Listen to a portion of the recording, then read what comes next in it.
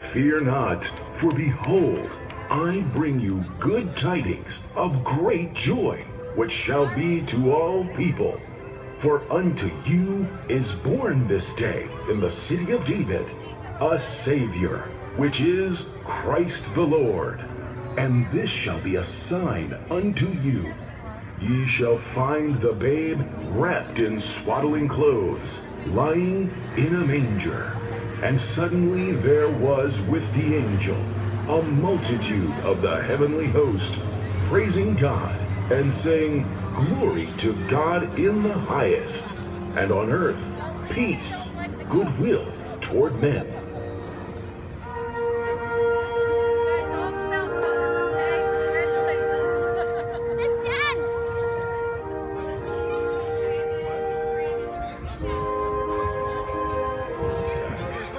And this taxing was first made when Cyrenius was governor of Syria, and all went to be taxed, everyone into his own city.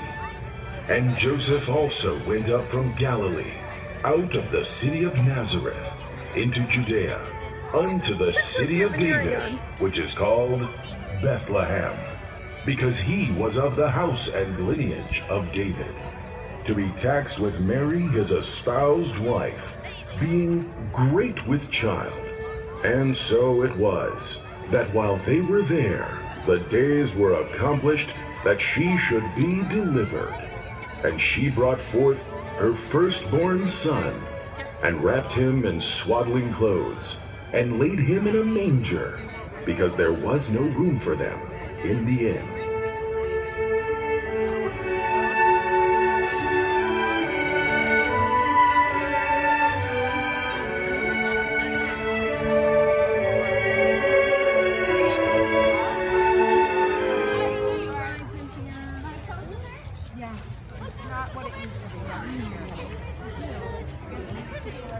And it came to pass as the angels were gone away from them into heaven, the shepherds said one to another, Let us now go even unto Bethlehem, and see this thing which is come to pass, which the Lord hath made known unto us.